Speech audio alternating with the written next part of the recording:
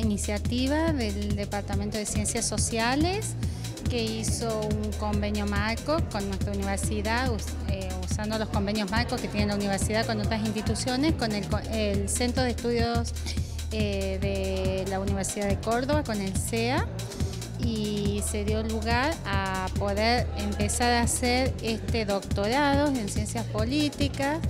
Yo creo que la capacidad de eh, desarrollar las instituciones políticas, la vida política local, tiene que ver con la producción de conocimiento que se pueda también articular, eh, no solo en el país, sino también localmente.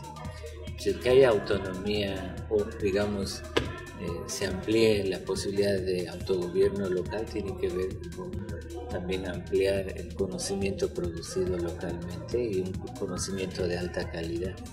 Y un programa posgradual, doctoral, mucho más. Creo que es la condición de posibilidad de crear condiciones para la reforma y desarrollo de las instituciones y de la vida política en una región.